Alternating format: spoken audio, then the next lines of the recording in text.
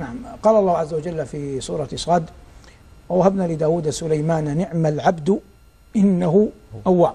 حررنا معنى ووهبنا له ووهبنا لداود سليمان وقلنا إن الله لم يقل واذكر لبيان أن سليمان نفسه منة من الله عز وجل على داود. لكن قال الله قبل أن نأتي على آيات الصافنات الجياد قال إنه أواب أي كثير التوبة.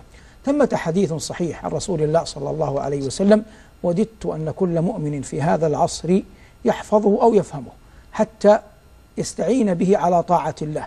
لأن الإنسان إذا غلب عليه الأمل يعطي لكن إن دب إليه اليأس يقف. قال عليه الصلاة والسلام كما في حديث ابن عباس رضي الله تعالى عنهما قال قال رسول الله صلى الله عليه وسلم ما من عبد مؤمن إلا وله ذنب يعتاده الفينة بعد الفينة أو ذنب هو مقيم عليه لا يفارقه حتى يفارق. إن المؤمن خلق مفتنا توابا نسيا إذا ذكر ذكر. معنى الحديث أنه قلما يخلو عبد من ذنب اعتاده أو من ذنب لا يكاد يفارقه. لكن قال عليه الصلاة والسلام في آخر الحديث إن المؤمن خلق مفتنا أي عرضة للفتن.